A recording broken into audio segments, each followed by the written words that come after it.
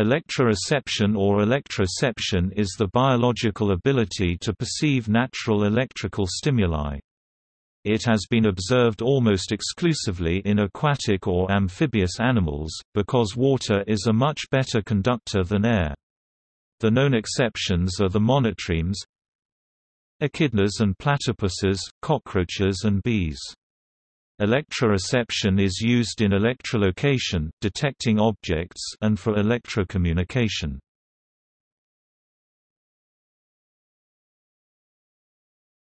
Topic Overview Until recently, electroreception was known only in vertebrates. Recent research has shown that bees can detect the presence and pattern of a static charge on flowers. In vertebrates, electroreception is an ancestral trait, that is to say that it was present in the last common ancestor of all vertebrates. This form of ancestral electroreception is called ampullary electroreception, with the receptive organs themselves called ampullae of Lorenzini. Not all vertebrates that possess electroreception have ampullae of Lorenzini. Ampullae of Lorenzini exist in cartilaginous fishes sharks, rays, chimeras, lungfishes, bichirs, coelacanths, sturgeons, paddlefish, aquatic salamanders, and caecilians. Other vertebrates that have electroreception such as catfish, gymnotiforms, mormyridiforms, monotremes, and at least one species of cetacean all have different secondarily derived forms of electroreception. Ampullary electroreception is passive, and is used predominantly in predation. Two groups of teleost fishes are weakly electric and engage in active electroreception, the neotropical knife fishes gymnotiforms and the African elephant fishes Notopteroidae.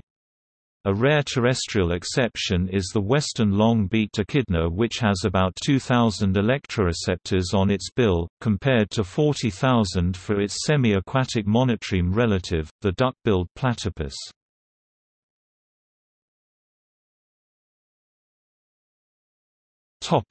Electrolocation Electroreceptive animals use this sense to locate objects around them. This is important in ecological niches where the animal cannot depend on vision, for example in caves, in murky water and at night. Many fish use electric fields to detect buried prey. Some shark embryos and pups freeze when they detect the characteristic electric signal of their predators. It has been proposed that sharks can use their acute electric sense to detect the Earth's magnetic field by detecting the weak electric currents induced by the swimming or by the flow of ocean currents. The walking behavior of cockroaches can be affected by the presence of a static electric field, they like to avoid the electric field. Cabbage loopers are also known to avoid electric fields.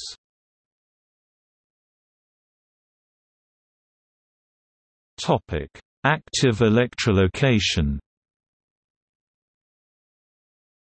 In active electrolocation, the animal senses its surrounding environment by generating electric fields and detecting distortions in these fields using electroreceptor organs. This electric field is generated by means of a specialized electric organ consisting of modified muscle or nerves. This field may be modulated so that its frequency and waveform are unique to the species and sometimes, the individual see jamming avoidance response. Animals that use active electroreception include the weakly electric fish, which either generate small electrical pulses termed pulse type or produce a quasi-sinusoidal discharge from the electric organ termed wave type. These fish create a potential which is usually smaller than 1 volt. Weakly electric fish can discriminate between objects with different resistance and capacitance values, which may help in identifying the object. Active electroreception typically has a range of about one body length, though objects with an electrical impedance similar to that of the surrounding water are nearly undetectable.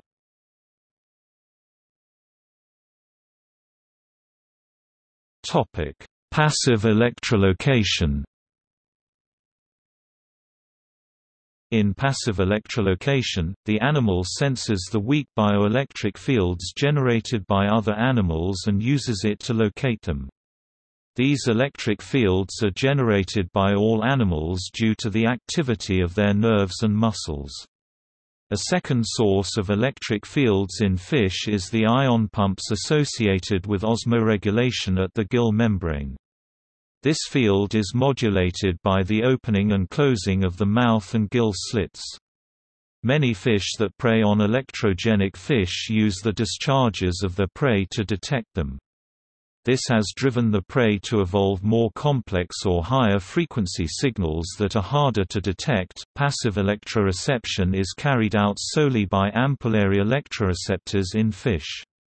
It is tuned to low-frequency signals, below 1 up to tens of hertz. Fish use passive electroreception to supplement or replace their other senses when detecting prey and predators. In sharks, sensing an electric dipole alone is sufficient to cause them to try to eat it.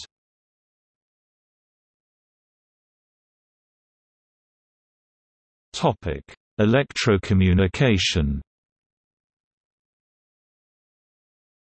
Weakly electric fish can also communicate by modulating the electrical waveform they generate, an ability known as electrocommunication. They may use this for mate attraction and territorial displays. Some species of catfish use their electric discharges only in agonistic displays. In one species of Brachyhypopomus, a genus of South American river fish belonging to the family Hypopomidae, commonly known as bluntnose knifefishes, the electric discharge pattern is similar to the low-voltage electrolocative discharge of the electric eel. This is hypothesized to be a form of Batesian mimicry of the powerfully protected electric eel.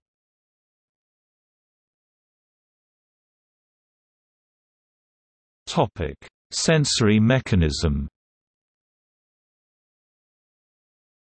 Active electroreception relies upon tuberous electroreceptors which are sensitive to high frequency 20 to 20,000 Hz stimuli.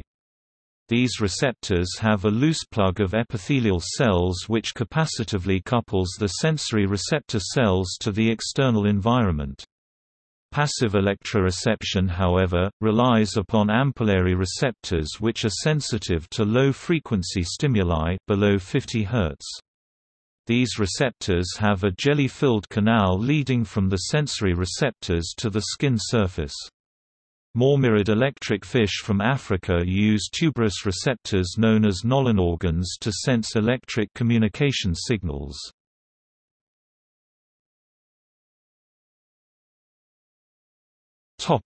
Examples.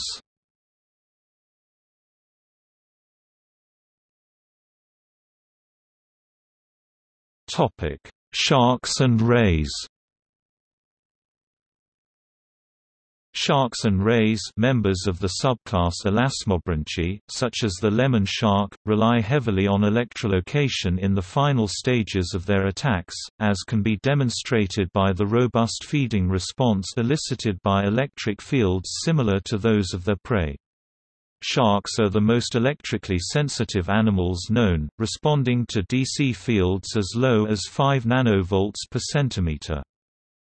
The electric field sensors of sharks are called the ampullae of Lorenzini. They consist of electroreceptor cells connected to the seawater by pores on the snouts and other zones of the head. A problem with the early submarine telegraph cables was the damage caused by sharks who sensed the electric fields produced by these cables. It is possible that sharks may use Earth's magnetic field to navigate the oceans using this sense.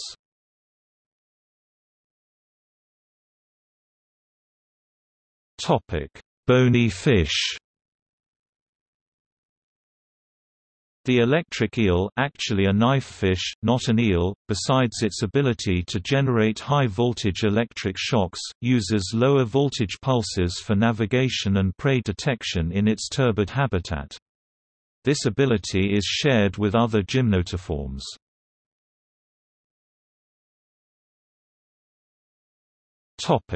Monotremes The monotremes are the only group of land mammals known to have evolved electroreception. While the electroreceptors in fish and amphibians evolved from mechanosensory lateral line organs, those of monotremes are based on cutaneous glands innervated by trigeminal nerves. The electroreceptors of monotremes consist of free nerve endings located in the mucous glands of the snout. Among the monotremes, the platypus Ornithorhynchus anatinus has the most acute electric sense. The platypus has almost 40,000 electroreceptors arranged in a series of stripes along the bill, which probably aids the localization of prey. The platypus electroreceptive system is highly directional, with the axis of greatest sensitivity pointing outwards and downwards by making short latency head movements called saccades. When swimming, platypuses constantly expose the most sensitive part of their bill to the stimulus to localize prey as accurately as possible. The platypus appears to use electroreception along with pressure sensors to determine the distance to prey from the delay between the arrival of electrical signals and pressure changes in the water. The electroreceptive capabilities of the two species of echidna, which are terrestrial, are much more simple. Long-beaked echidnas genus Zaglossus possess only 2,000 receptors and short-beaked echidnas Tachyglossus aculeatus have merely 400 concentrated in the tip of the snout. This difference can be attributed to their habitat and feeding methods. Western long-beaked echidnas live in wet tropical forests where they feed on earthworms in damp leaf litter, so their habitat is probably favorable to the reception of electrical signals. Contrary to this is the varied but generally more arid habitat of their short-beaked relative which feeds primarily on termites and ants in nests. The humidity in these nests presumably allows electroreception to be used in hunting for buried prey, particularly after rains. Experiments have shown that echidnas can be trained to respond to weak electric fields in water and moist soil. The electric sense of the echidna is hypothesized to be an evolutionary remnant from a platypus-like ancestor.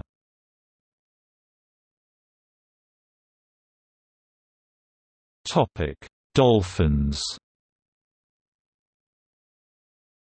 Dolphins have evolved electroreception in structures different from those of fish, amphibians and monotremes. The hairless vibrissae crypts on the rostrum of the Guiana dolphin guianensis, originally associated with mammalian whiskers, are capable of electroreception as low as 4.8 microvolts per centimeter, sufficient to detect small fish. This is comparable to the sensitivity of electroreceptors in the platypus. To date, June 2013, these cells have been described from only a single dolphin specimen.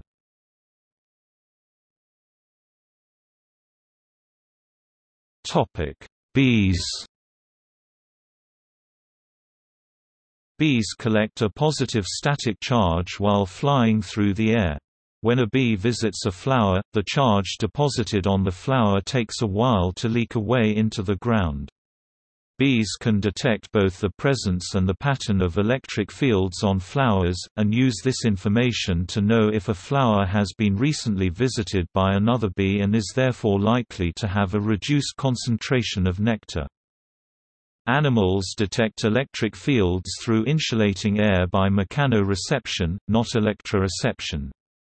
Bees sense the electric field changes via the Johnston's organs in their antennae and possibly other mechanoreceptors. They distinguish different temporal patterns and learn them. During the waggle dance, honeybees appear to use the electric field emanating from the dancing bee for distance communication.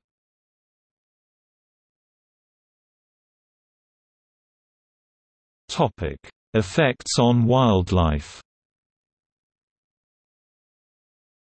It has been claimed that the electromagnetic fields generated by pylons and masts have adverse effects on wildlife. A list of 153 references to this has been published.